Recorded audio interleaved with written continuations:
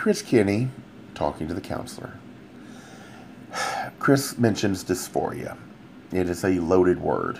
However, I think if you consider the word spoken to you at the moment of trauma, in Kenny's case, it was his brother's. His this made him run. In a panic, he ran into the snow. It was a mistake that had consequences. However, those words spoken and the consequences that followed led Kenny to make decisions out of self loathing.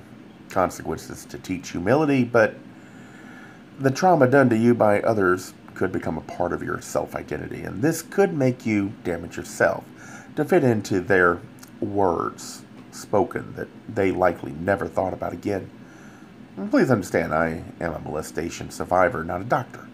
I speak only from my own search for answers. You must find yours.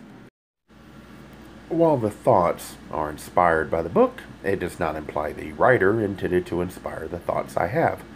The attempt is to start a discussion and get people to think about human behavior from the perspective of the closet. How this might lead to problems that make friends or partners or even business relationships difficult. I can understand why some would dismiss this effort. I find reminders in how the characters behave with memories of my own experiences and then explore that aspect. It's meant to start people to think. It is not meant to imply I am right. If you do not share the ideals with others, then how will you know if you're right? When talking, the focus should be on challenging and exposing your ideals, not in changing other opinions. That would only lead to frustration, since the only person you can change is yourself.